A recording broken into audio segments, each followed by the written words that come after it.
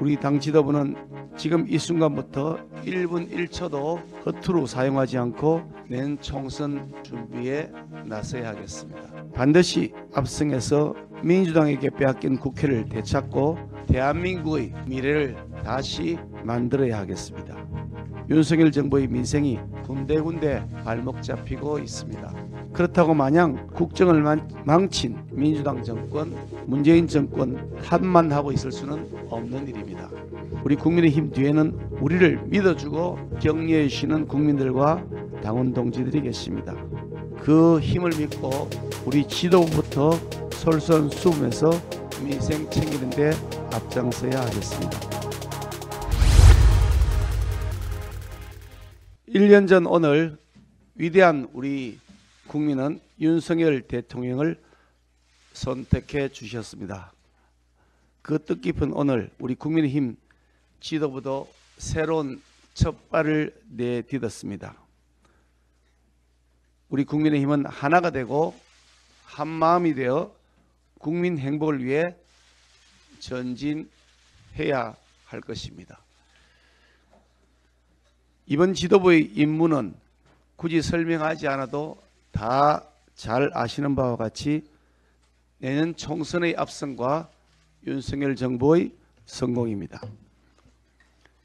내년 총선은 우리 국민의힘의 미래와 윤석열 정부의 성공, 나아가 대한민국의 운명을 가르는 역사적 분기점이 될 것이라고 생각합니다.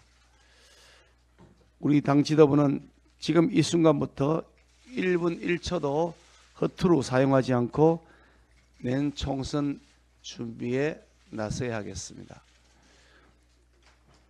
반드시 압승해서 민주당에게 빼앗긴 국회를 되찾고 대한민국의 미래를 다시 만들어야 하겠습니다.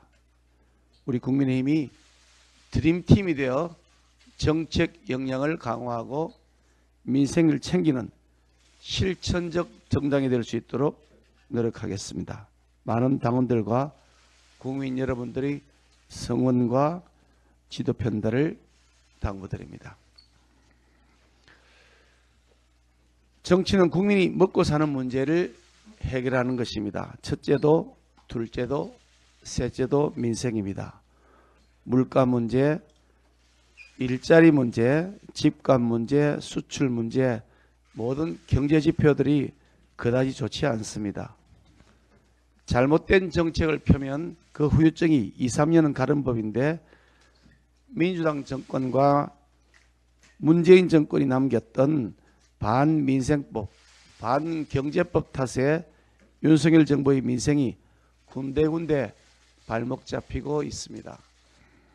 그렇다고 마냥 국정을 만- 망친 민주당 정권, 문재인 정권 탓만, 하- 탓만 하고 있을 수는 없는 일입니다. 우리 국민의힘 뒤에는 우리를 믿어주고 격려해 주시는 국민들과 당원 동지들이 계십니다. 그 힘을 믿고 우리 지도부부터 솔선수범해서 민생 챙기는 데 앞장서야 하겠습니다. 대한민국의 미래를 만들기 위해 당장 시급한 과제인 노동개혁 문제부터 해결하고 이어서 연금개혁, 교육개혁과 같은 국가적 과제도 차근차근 잘 해결해 나가야 할 것입니다.